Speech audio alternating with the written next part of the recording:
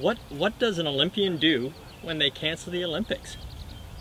They, uh, from our experience, they have to improvise. Um, so it was a, I wouldn't say a big shock, but it was kind of a, a big hit when they canceled the Olympics and uh, we are kind of scrambling to see what we would do when the Olympics would actually take place and uh, try to find a way to not just throw away this year since we've done so much training leading up to this point. So uh, we've kind of improvised, created new goals, worked on some new things, and uh, it's been pretty productive so far.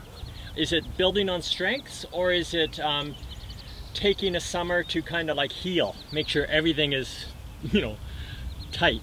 I, I think it's a little bit of both. It's uh, taking some time to heal, uh, working on strengths, working on weaknesses, um, working on the things that you're allowed to work on. Um, we're not able to do pole vault, high jump, long jump, or anything like that. So we have to fill some fill the time with some other things. So we've been doing a lot of discus, a lot of shot put, a lot of javelin, a lot of running. So uh, those events have um, have gone extremely well.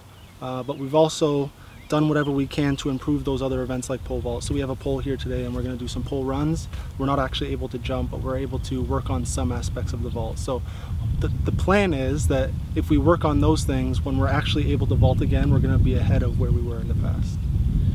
Pretty sure 2021, is that the, the theory?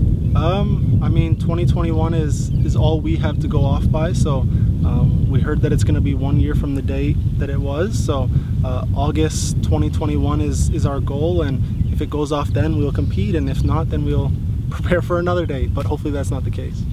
Once the whole Olympics got canceled, the place where I went to do my weights, it got canceled, but it's opening up today. Um, RevCon in London. Um, and then Western got closed down because it's a university, and then some other high schools and stuff got closed down as well. So we we kind of moved to all these different locations, and one by one they were closed down, and we kind of settled on a place where we were able to train. We weren't able to do everything, but uh, we are at least able to run. Um, so it, it, has been has been awfully tricky to figure figure out a place where we can do some stuff and continue training and staying shape and uh, it's kind of thrown a little bit of a wrinkle into things but we've been we've been pretty good and we've found a way to uh, better ourselves through it. So is the marathon the next thing for you, Damian? No, uh, never.